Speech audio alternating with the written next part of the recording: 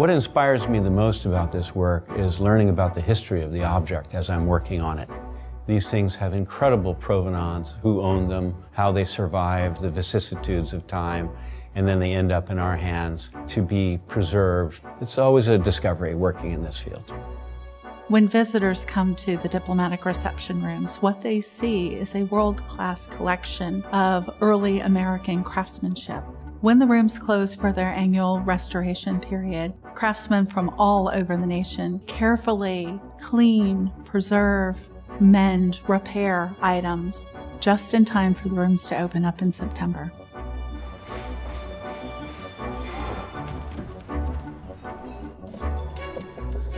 I'd like to think that we're carrying on traditions that started by our forefathers.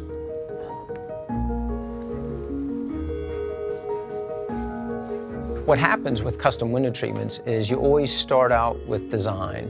So forget these fabulous fabrics for a moment. If you don't have a perfect design sketched out, you're going nowhere.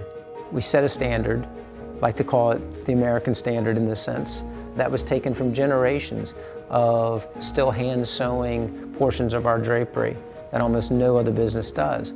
Even though these are new, these could have easily been made at the time of George Washington not just me, but I think even people that work with me and I work for, they know there's pride being taken. You know, it's not just a job. Whatever we put in here not just has to look good, but also has to function in a better way than it did before. With American furniture, everything is very well restrained. I like the balance and the feel of it, and I fell in love with it.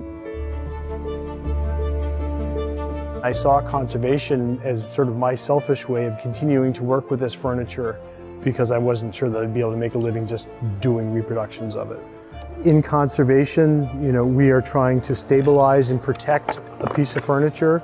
For me, I find it's a balancing act between the needs of the object and the needs of the owner. It's trying to preserve the history of a piece. So you're not trying to take away anything that you think is important, understanding how that piece was made or how that piece was used any part of that piece's history. It's patience. Each material has different limits, and that's what you kind of learn as a craftsman. You start to begin to really understand how far you can push something and, and when you need to say stop. But just cleaning the uh, edges of this with the swabs to get the glue off.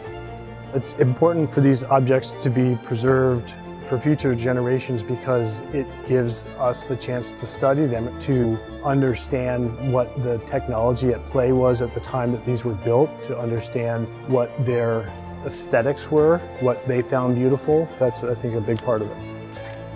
I was really drawn to photographing things from museums because I love art. It just gives you a perspective on life and you look back and see things from the past. We tend to think of things like art as these permanent objects that are in museums and they'll always be here and we'll always have them. But things sometimes change. There are fires, there are sales of things, objects travel to other places and don't come back. So when you photograph things and you publish them, it's a way to preserve. One of the amazing things about photographing at the diplomatic reception rooms is that they have such a range of material, furniture, documents, paintings, china, silver, but these images are all being used by educators all over the world through the web. Access to the images is a wonderful thing for the collection to get out into the world. Each of these objects tells a story, and they're done in an atmosphere which is extraordinarily convivial, and things are displayed just absolutely beautifully here, and we have to keep it that way. This is what we're here for, is to make these beautiful museum spaces that are here not for a year, but for 40, 50, 100. That's one of the main reasons I enjoy and got into this. I am a faux finisher. We can virtually turn any surface into something that it is not. We can take a piece of wood and make it look like granite, quartz, marble, and it's all through paint. This piece if you would have seen it before, you know, how we glazed the shell and actually showed all this detail. Prior to this, you didn't really see all that. Now, when you turn the lights on, this is a jewel box now. I mean, it's an absolutely beautiful thing. And again, in the future, I can say, wow, that's going to be around for a long time.